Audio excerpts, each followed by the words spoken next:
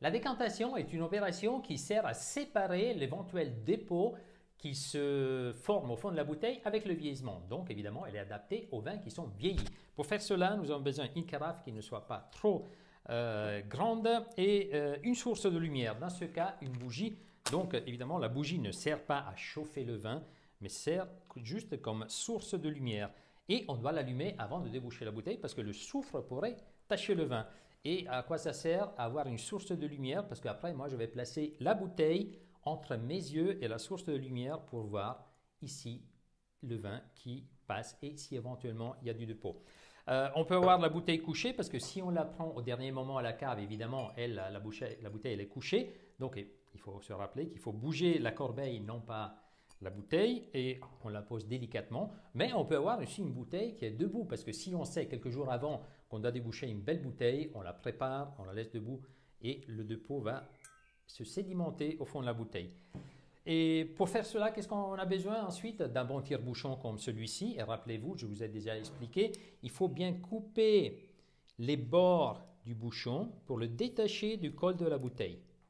Et ensuite, euh, évidemment, il faut nettoyer un petit peu le goulot et on commence à l'extraire. Rappelez-vous, on pointe au milieu le tire-bouchon, un demi-tour en arrière et après on commence à l'enfoncer délicatement parce qu'il faut faire attention que le bouchon ne se casse pas.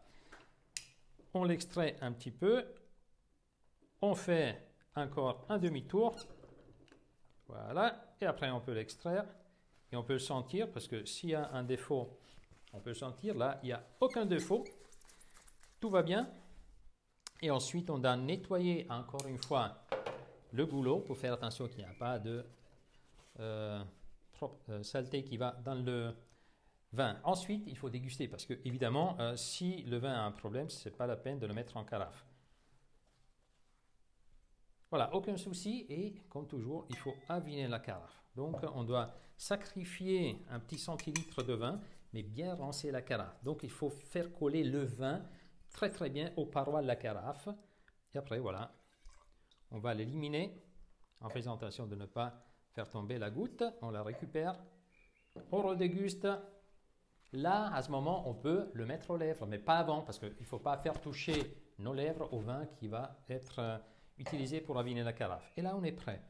Euh, rappelez-vous, la bouteille, il faut la bouger le moins possible.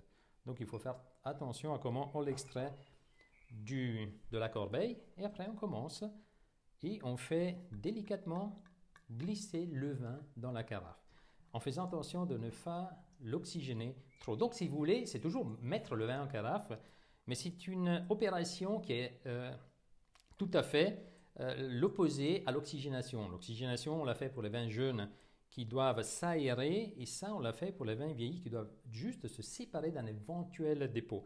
Et là, je mets voilà, la bouteille entre mes yeux et la source de lumière, parce que je dois contrôler le moment quand il y a le sédiment qui va vers le col de la bouteille et je dois m'arrêter pour euh, le faire aller dans la carafe. Voilà, maintenant je m'arrête.